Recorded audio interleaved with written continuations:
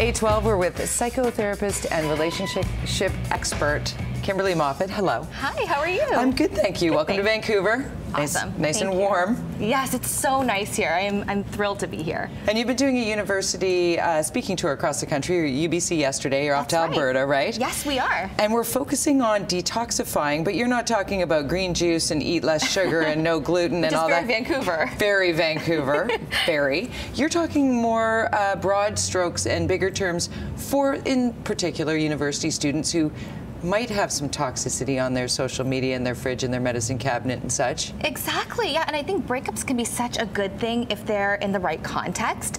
And if we can get used to the idea of breaking up with things emotionally, we can actually have a much better life. So we're talking to millennials about how they can break up with relationships that aren't working for them, whether it's a bad friend or a relationship, um, or if it's just something small, like their closet and clothes that they're never going to wear again, just having that emotional and mental relief from some of those things weighing them down. Let's talk about the cyber side of things first and foremost, because I think people do, even in toxic situations where they've got someone who treats them poorly or says things they don't agree with or even need to hide, they still Mm-hmm. don't unfriend or stop following them. Definitely, and about a third of social, uh, about a third of millennials say that they'd actually consider breaking up with social media altogether. Completely. And I think that's a huge stat. I mean, I don't think I could break up with social media altogether, even at my age. But I think that it, it just goes to show that that environment can actually be really toxic if we're reading a lot of messages that aren't positive for our health. So the first thing they should do is? emotions. Yes. I think you've got to filter that whole environment for yourself. So on Facebook, you don't want to defriend people necessarily because uh, they might know that you've defriended them, but you can definitely block them from your feeds. Go into your email and perhaps delete all of those subscriptions that you don't even read that are clogging your inbox every morning.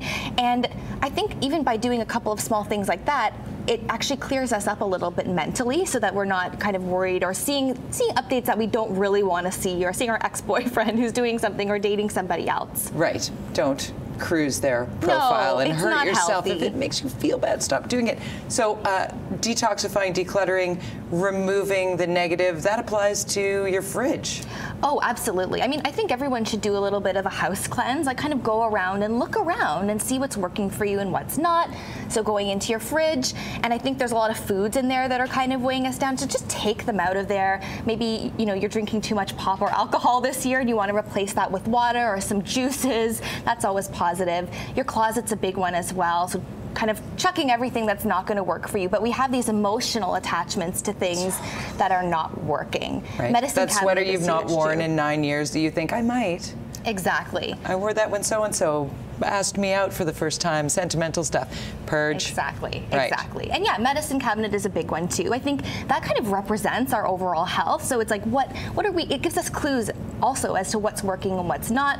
So one of the hot topics yesterday at UBC was that 70% of millennial women would consider breaking up with their birth control pill in favor of something more long acting like an IUS. And I think that just speaks to how millennials want to automate things. They want to just get rid of anything that you're kind of doing, one more thing on your to-do list and make sure that everything is kind of automated so that you have that fresh out, outlook on life. Fascinating. Getting Yeah. everything up to date and being smart about it. And if you've got a good foundation to jump off from, things might be more positive moving Absolutely. forward. What's the biggest mistake we make in uh, having that toxicity as a, not we, but the millennial, like that, that generation? So many people say, oh, millennials, they're so entitled, they're so da da da. These are, are the next generation of world leaders. Absolutely.